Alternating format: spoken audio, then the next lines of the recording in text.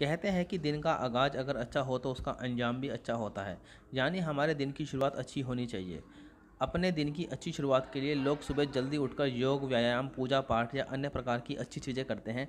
लेकिन कुछ गलत आते या गलत काम से दिन की शुरुआत हो जाए तो समझे पूरे दिन की बैंड बच जाती है। ऐसे में हम उन गलत आदतों से बचकर रहना चाहिए।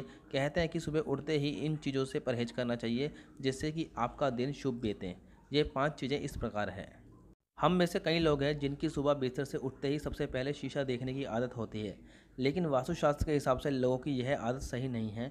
इस आदत से उसके जीवन पर नकारात्मक प्रभाव पड़ता है। ऐसे में कभी सुबह उठते ही शीशा नहीं देखना चाहिए।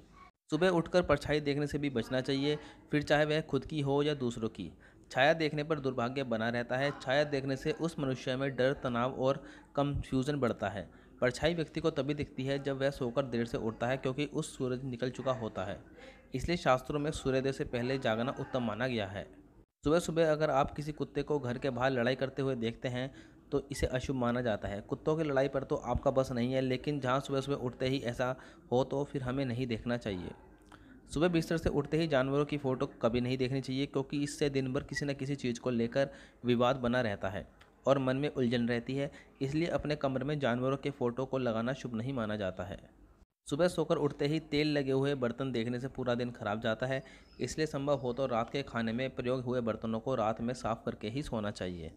सुबह सुबह ऐसी तस्वीर देखें जो आपके मन में सकारात्मक प्रभाव डालें और बिस्तर से उठने के बाद सबसे पहले अपने हाथों को देखना चाहिए और ईश्वर का ध्यान करते हुए दिन मंगल में बीतें, ऐसी कामना करनी चाहिए।